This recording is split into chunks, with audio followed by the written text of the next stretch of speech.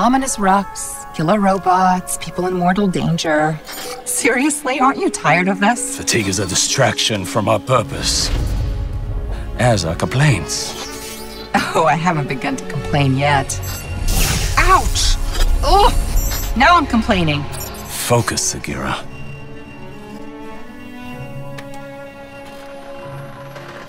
Reach for the sky, big guy.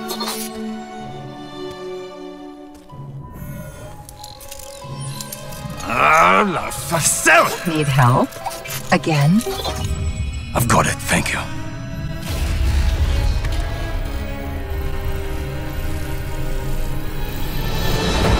Well? Osiris? What, what did you see? Slow down. Wait. I thought I... Oh, To your left! Two o'clock! Medium range! You're welcome!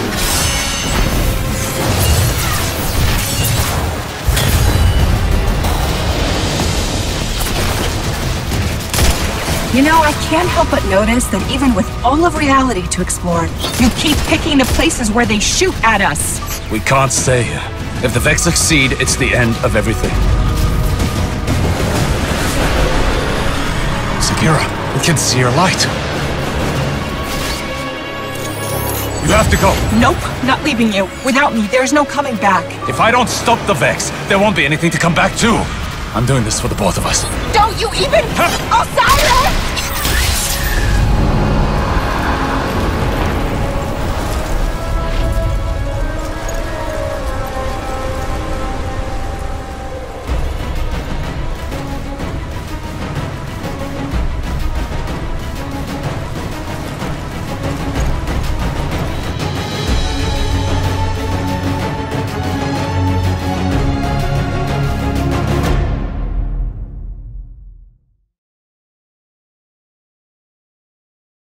What's going on ladies and gentlemen, boys and girls, guardians of all ages, Joker back again once again. The introduction to Osiris and his ghost Sagira is one of the most charming and endearing moments in the history of Destiny storytelling. In this small cinematic, these two characters show more character than the vast majority of paper-thin vending machines were told our characters throughout the Destiny franchise.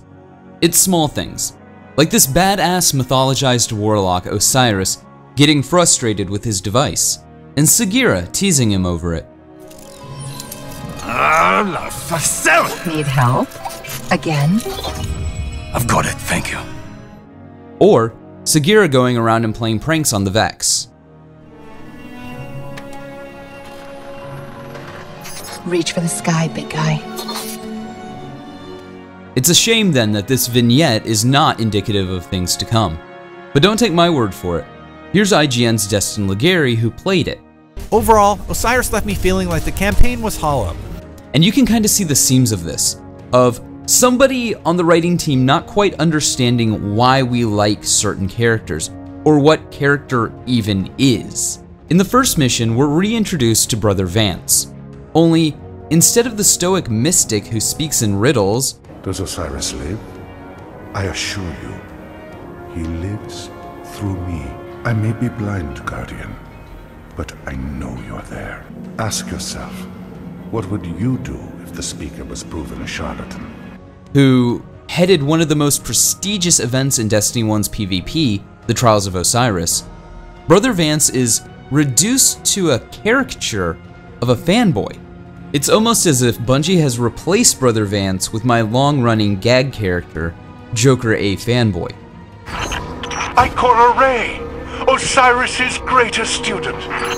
Brother Vance, Osiris's greatest fan. Praise be to our Lord and Savior Luke Smith. Praise be to Bungie. It's like Bungie has forgotten how to write a serious or mature story. Cayde Six is a popular character for being the only actual character in Destiny for the longest time. And I think Bungie has misunderstood the fans' enjoyment of the character, to the point of turning every character in the game into a joke character. It's not that the fan base wants something to laugh at all the time. That gets boring and monotonous. It's that Nathan Fillion is a good actor, and he helped Cayde 6 stand out. Bungie's writing team seems to have taken that to mean that all fans want are moments of levity. Yet, if you look at the most talked about aspects of lore, it's the darker stuff that people latch onto. It's Thorn and Dredgen Yor. It's the last word in Shin Malphur. It's Kabr the Legionless and his raid team in the Vault of Glass. It's the Books of Sorrow. It's Six Fronts. It's Twilight Gap. It's the Reef Wars. It's a lot of dark and heavy stuff that occasionally has moments of levity. The Curse of Osiris DLC presents us with a dark scenario. We are still at war with the Cabal, kind of. The Emperor of the Cabal is still in our system doing who knows what, and now the Vex have started to summon an army from all corners of time and space to conquer reality. On top of that, Osiris is missing or dead. So how does this DLC choose to open up? Does it keep with the tone and the seriousness of the quest we've embarked on? No. In a jarring tonal whiplash, it takes a character who was intriguing and turns him into an utter joke. Ikora Rey, Osiris's greatest student. Brother Vance, Osiris's greatest fan. Whomever is writing characters over at Bungie has absolutely no clue how to write them. They only know how to write one note jokes. The only highlight is that some tend to be presented better than others. In the IGN video, they report that it only took them a couple of hours to beat the Curse of Osiris's campaign. After playing the first mission, which took us to the new destination, I had the opportunity to rush through the 2 to 3 hour campaign where core components like shooting and leveling felt as good as they always do. Once I completed it, however, I was left thinking simply, that's it? According to PC Gamer, in terms of campaign length, I saw 8 missions, two of which are substantial enough that they'll be added to the strike pool. You can reasonably expect to play through in a solid session. Destiny 2 The Curse of Osiris has an 8 mission campaign. 6! If we exclude the two new strikes. That doesn't inspire a lot of confidence. Destiny 2 had a lot of pacing issues. Oh boy, did it have pacing issues, seeming to come from a much, much larger story, which, given how the raid plays out, more on that later, implies that perhaps the story of Destiny 2's Red War was a little more overarching before the reboot. From a story and lore sense, six to eight missions to explore the Vex's Grand Master plan that they have been laying in wait since literally time immemorial to spring seems cheap.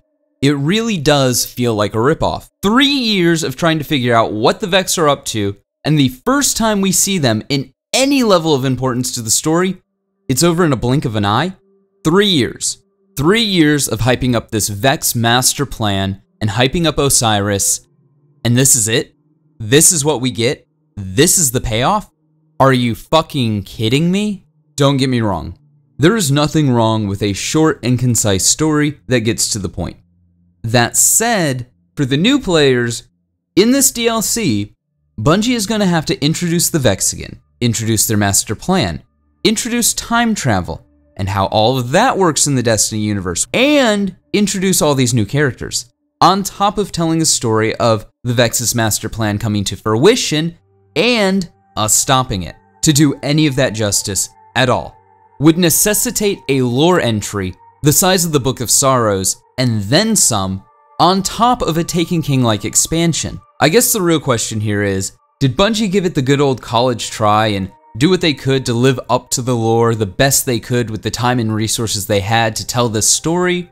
Or, and more likely, is this a Vex themed side story that tangentially flirts with the ideas of time travel and exploring Osiris, but ultimately shies away feeling hollow and vapid and failing to live up to three years of teasing that has been done for one character and one master plan, and is nothing more than a soulless cash grab that has the most interesting race in the game on the box, with the most interesting warlock in all of Destiny on the box. I guess we'll find out December 5th, but it shouldn't be too terribly hard to figure out which side I'm leaning towards. Let's see, what else? 270 strikes. I mean, gee, thanks Bungie for bringing back the Heroic Strike playlist from Destiny 1, which should have shipped with the game and doing so without modifiers and doing so at 65 light le- or I mean power levels below the max.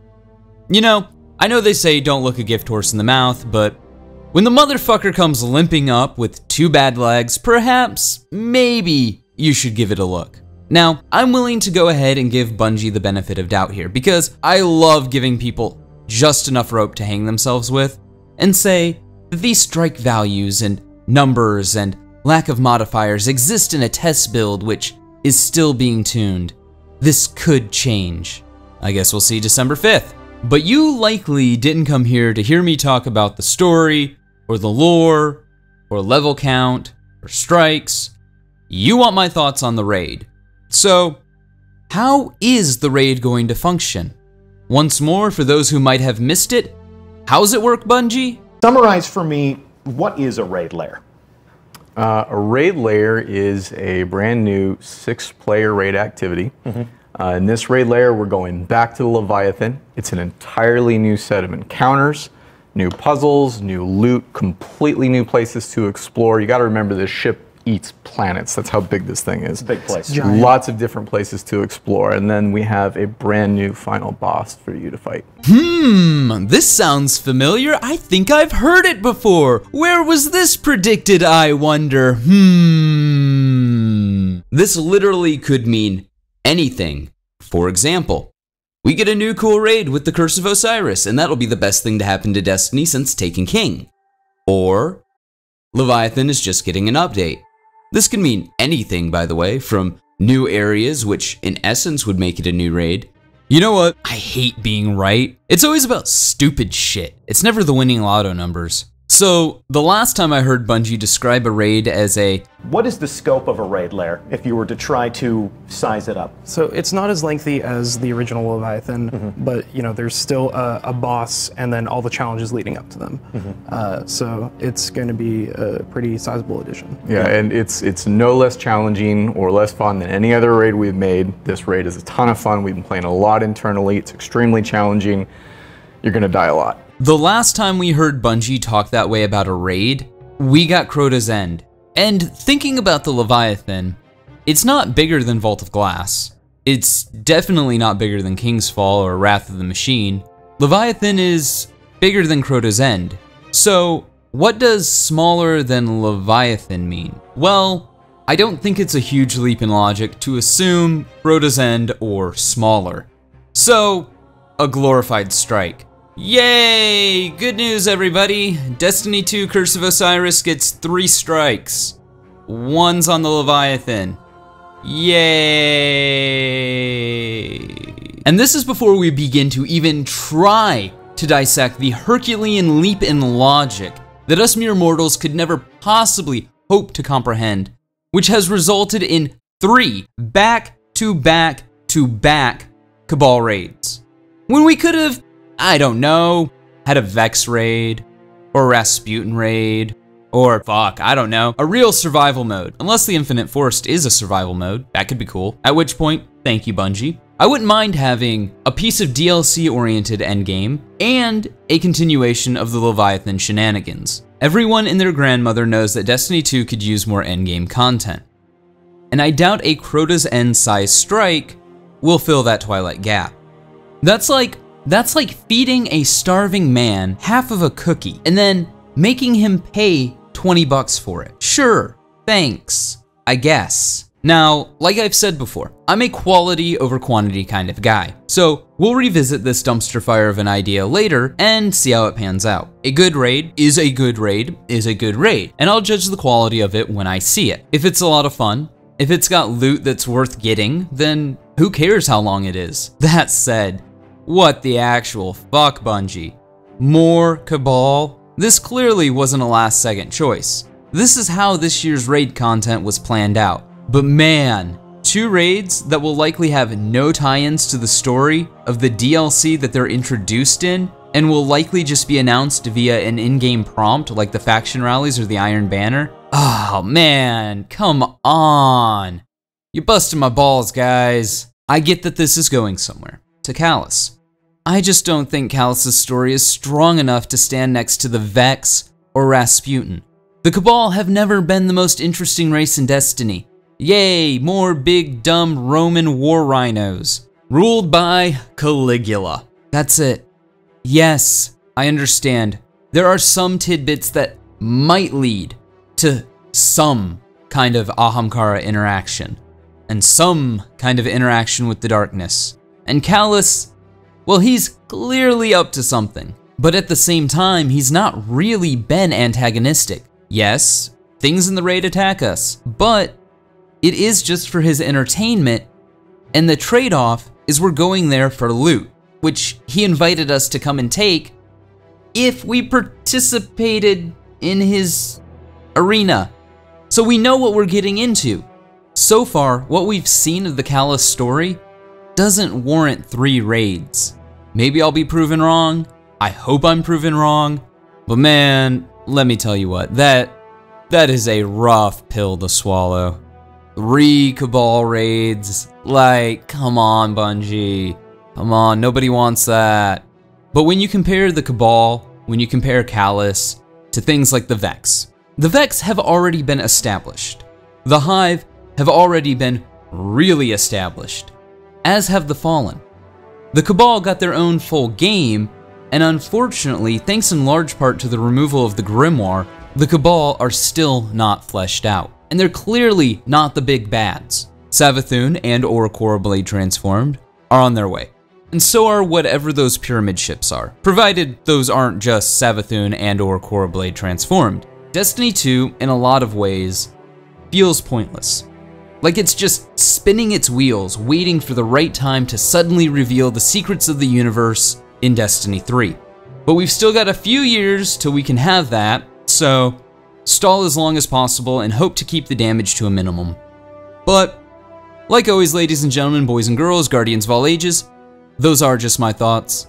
Let me know yours in the comments below, and like always, stay frosty.